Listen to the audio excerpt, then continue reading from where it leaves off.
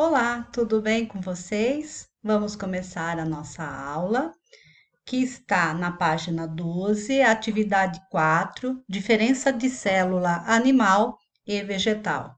Na aula passada, nós falamos da célula e nós falamos dela que ela tem três importantes, né? As três estruturas fundamentais, né? Além de outras organelas, mas a gente viu somente três nós vimos a membrana, a membrana, o citoplasma e o núcleo.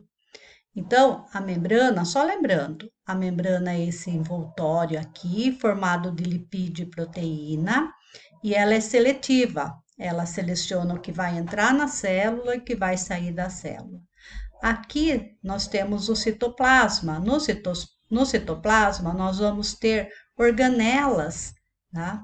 que vai é, fazer com que a célula, né, com que essa estrutura, ela funcione, né, ela, ela esteja viva.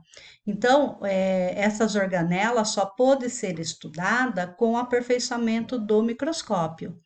E aqui, por último, aqui, né, no centro, a gente vai ter o núcleo, que o núcleo é responsável pela reprodução da célula e ela comanda toda a célula. Do ladinho aqui nós temos uma célula vegetal, então aqui é animal e a célula vegetal. Agora nós vamos ver a diferença das duas. Lembrando que na célula vegetal ela também tem estruturas, tá? Igual na célula animal, mas elas têm diferenças, né? Então a gente vai ver que a primeira diferença aqui é a parede celular, que é o envoltório aqui mais rígido, né? Aqui dentro nós vamos ter as organelas chamadas cloroplastos, que elas são bolsas onde fica a clorofila e ela é responsável pelas, pela fotossíntese. Na célula animal não tem. Olha aqui a membrana, tá? Membrana e olha a parede celular aqui.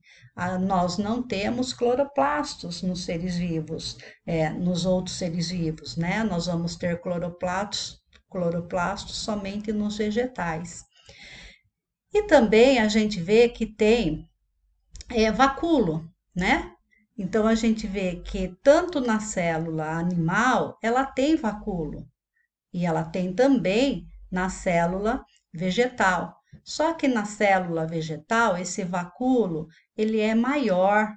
Por quê? Porque ele vai armazenar, armazenar seiva, ele vai ajudar na realizar o controle de entrada e saída da água, né? Então a gente vai ver que é uma bolsa maior. Ah, e também nós vamos falar que nós vamos ver que na célula vegetal ela não vai encontrar, nós não vamos encontrar flagelos e cílios né? Que são estruturas que vai estar presente aqui na célula animal, que não dá para ver aqui no momento. Daqui eu coloquei uma figura maior para vocês poderem ver uma célula vegetal e uma célula animal. Nesse outro slide aqui, a gente tem algumas estruturas com os nomes, né, para vocês visualizarem melhor.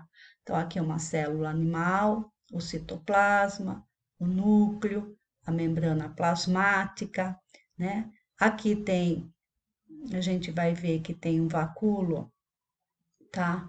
Na, agora vamos falar da célula animal, desculpe, nós vamos falar da célula animal, a gente vai ter vacúolo aqui, vai ter alguns vacúolos pequenos aqui, mas ah, nós vamos ver que na célula vegetal ela é bem maior, cloroplastos que estão presentes somente na célula vegetal, aqui a parede celular, né, que é esse envoltório aqui mais rígido que nós falamos.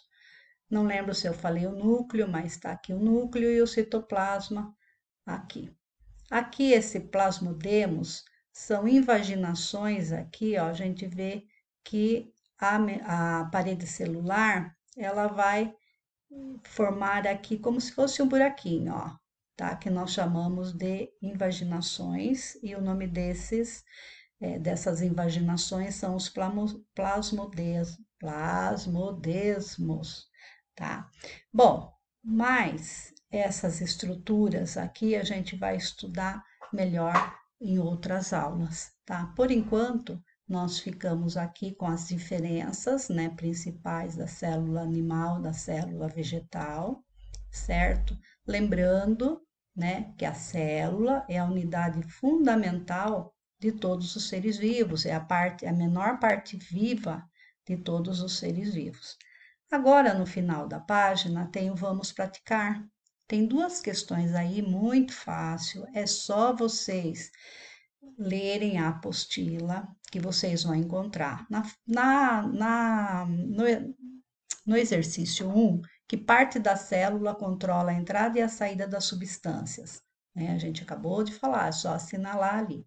Explique a função dos cloroplastos na célula vegetal. Então, vocês vão ali na apostila, vão ver a função do cloroplastos e vão escrever aqui. Terminando Tá? Vocês postam na quarta-feira mesmo, né, que é o dia da nossa aula.